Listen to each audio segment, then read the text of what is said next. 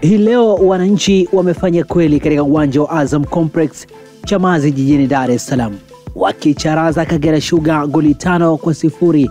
Kati ya hizo tano Azizi Ki akiingia mara tatu katika kamba za Kagera Sugar. Ishu sio ushindi, ni goli tatu za Azizi Ki.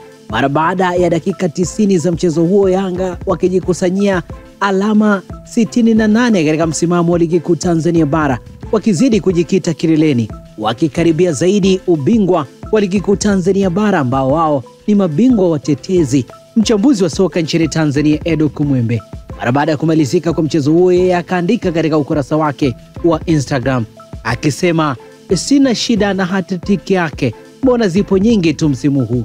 Tatizo langu ni lile bao la shuti, alikuwa anataka kuua au bonge la bao lile. Watoto wa Uswahilini huwa tunaitamua ule.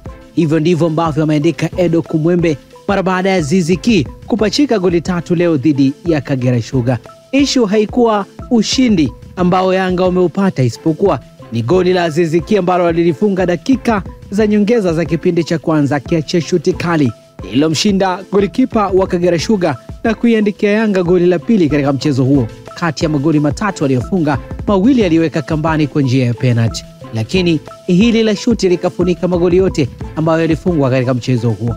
Hayo ni maoni ya mchambuzi nguli wa soka nchini Tanzania Edo Kumwembe akizungumzia kile ambacho amekifanya Stefan Azizi Ki katika mchezo kati ya Yanga dhidi ya Kagera Sugar. Huenda wewe kuna kitu ambacho umekiona pia, sio mbaya ukiandika kile ambacho unakifikiria kwenye komenti hapo chini. Mi naitwa Shehani Mzaina, hii ni Toka Zamani TV. Asante kwa kuwa nasi kubwa. Usisahau kusubscribe na kubonyeza alama kengele ili unapata taarifa mbalimbali kiganjani mwako.